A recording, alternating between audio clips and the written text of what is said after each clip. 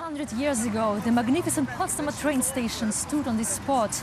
A carriage with Vladimir Lenin on board stopped here in the spring of 1917. Lenin wanted to return to Russia. He wanted revolution. It was the imperial authorities who allowed Lenin's transit through Germany during World War I. The original documents that put these fateful lines of convenience in effect are on display in Berlin's German Historical Museum. A German diplomat sent a telegram to Berlin. It read, Lenin arrived safely in Russia. He is doing just what we want. It says here 10 million German marks for political propaganda in Russia and someone's corrected it to say 15 million. We found a lot of documents. There were huge sums involved. As many as 2 million Russians fled their homeland after the 1917 revolution. They escaped in fear of civil war, terror, and starvation. It was mainly the intellectual elite who were scorned by the Bolsheviks doctors, entrepreneurs, writers, officers, and aristocrats. Their lives in exile were shaped by fear of an unknown future. Maria von Moltke was born to a Russian noble family. Her father, Dmitry Atryaskin, was a cadet in the Marine Academy of St. Petersburg. He fled Russia a few months after the revolution at the age of 16. If you ask me where my home is, I have no home.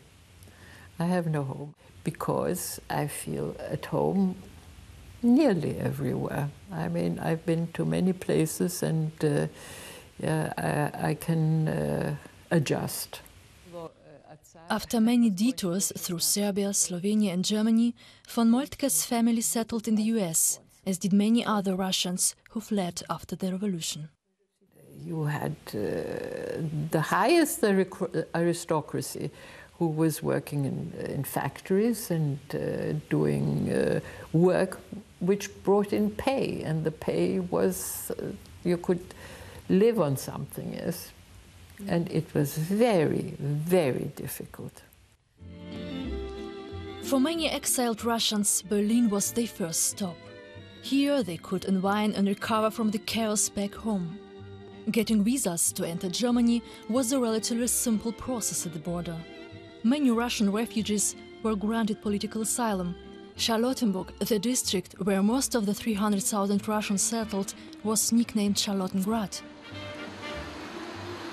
Berlin was a magnet to the Russian intelligentsia. The reasons might sound familiar. Berlin was cheap, tolerant, and in the best sense, indifferent. The poet Andrei Bely praised Berlin's easygoing atmosphere with passages such as Night, cocaine, that's Berlin, it was here that Vladimir Nabokov wrote his most famous novels in Russian, and the celebrated author Boris Pasternak lived in the same area. It was a city within a city. Ina Köhler gives guided tours about the Russian exiles in Berlin in the 20s.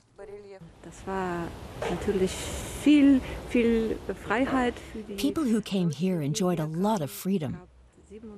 There were 87 Russian language publishing houses. There were plenty of Russian restaurants, Russian Orthodox churches, and workers' associations. So, for the people who fled hunger, there was plenty to eat. It wasn't just about waiting to see what would happen in Russia. People had a good life here. But many Russians stayed only a short time here before heading to Paris or New York. Most of the exiled Russians, like Marie von Moltke's father, never saw their homeland again. He left his diary to her, and with it, a love for his native language and Russian culture.